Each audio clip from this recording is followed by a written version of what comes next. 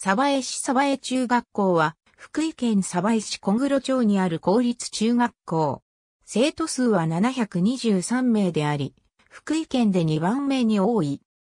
若杉和志山口秀夫安藤健二横井七兵衛、高橋康森青木仁次郎斎藤新一山岸、竹尾夏梅治部衛門川崎白斎藤、悟杉本睦夫伊藤秀夫森二平木戸、一郎今立吉則斎藤優藤田正宏加藤、次郎小沢正信高橋達也八木陽一山本、安弘久保田正和、誠実英知健康、個性豊かで、やる気と思いやりの心を持ったたくましい生徒の育成、委員会か係かのどちらかまたは両方をすることになる。運動部文化部。ありがとうございます。